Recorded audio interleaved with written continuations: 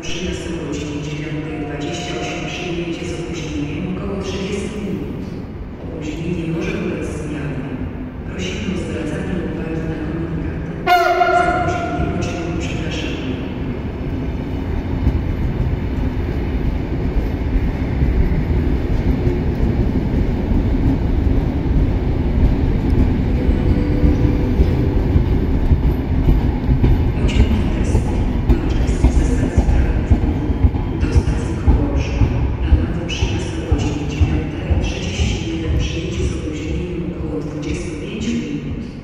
później nie może ulec zmianie.